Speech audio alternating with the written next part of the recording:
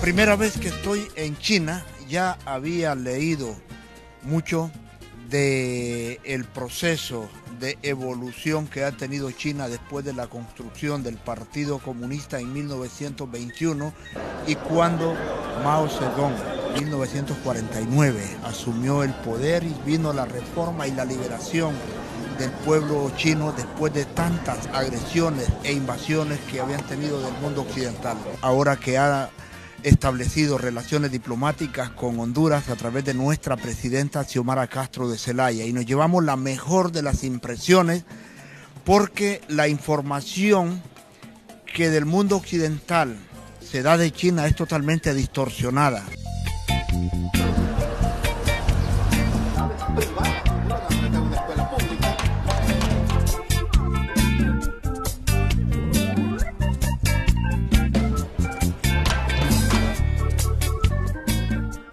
Que nuestros pequeños tengan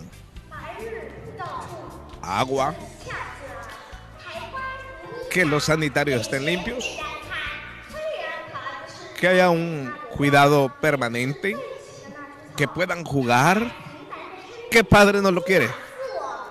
¿Qué padre no desea?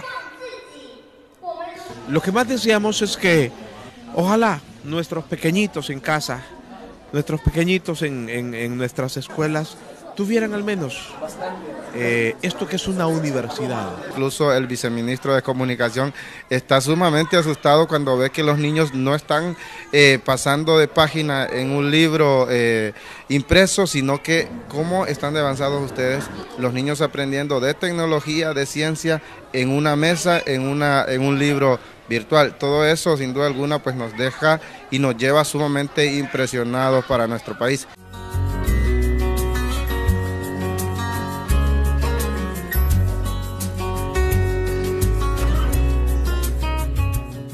Yeah, this is my first time in China. We used to have about China in our mindset was uh, really underdeveloped. But now that we are here, well, the, it's a big shift. Uh, we have to celebrate the, the um, decision of our president, Xiomara Castro.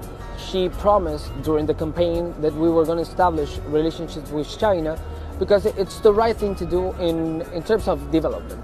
Um, it, it's a it's it's it's a very powerful country. It's a very developed country.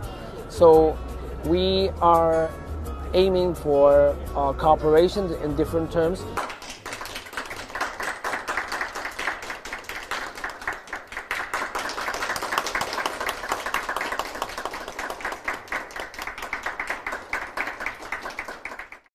快来订阅通视，按旁边小铃铛给我们点赞和分享哦！